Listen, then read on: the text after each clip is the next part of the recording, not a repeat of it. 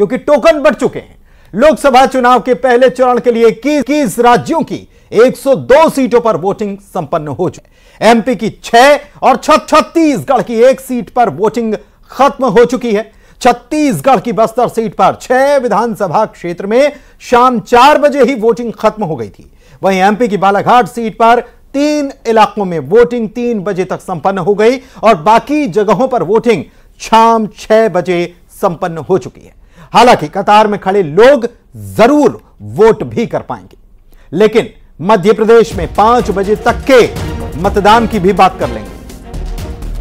तो 21 राज्यों के 102 सीटों पर मतदान हो गया। एमपी की छह सीटें हैं जिस पर मतदान हुआ। छत्तीसगढ़ की एक सीट, बस्तर सीट, जिस पर वोटिंग हुई है। नक्सल प्रभावित इलाका छत्तीसगढ़ में सारी सीटों पर वोटिंग खत्म हो गई। सीधी शहडोल, जबलपुर, छिंदवाड़ा समेत कुल छह सीटें जहाँ पर वोटिंग हुई और पिछला अगर 2019 का नतीजा अगर उस पर नज़र डाली जाए तो पाँच मध्य प्रदेश में छह में से पाँच सीटों पर बीजेपी काबिज थी। एक सीट छिंदवाड़ा, वहाँ पर कांग्रेस ने जीत हासिल की थी। बस छत्तीसगढ़ की बात कर लें, बस्तर सीट पिछली बार कांग्रेस के पास थी। इस बार किसके पास हो?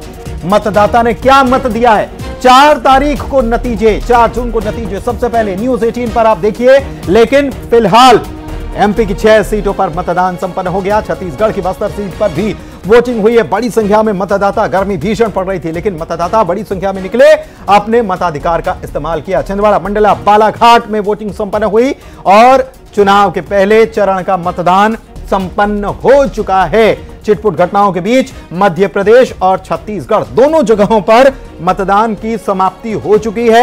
अब वे लोग जो पहले से कतारों में खड़े हुए हैं, वे ही लोग वोट डाल पाएँगे। वोटिंग परसेंटेज की बारी है। वोटिंग परसेंटेज आपको बता देते हैं कहाँ कितना मतदान का प्रतिशत रहा है। अभी हालाँकि फाइनल आंकड़े आने बाकी हैं, लेकिन 21 राज्यों की 102 सीटों पर जो वोटिंग हुई, इसमें पाँच बजे तक का मतदान प्रतिशत क्या रहा? यह हम आपको लगातार अपडेट करते रहेंगे।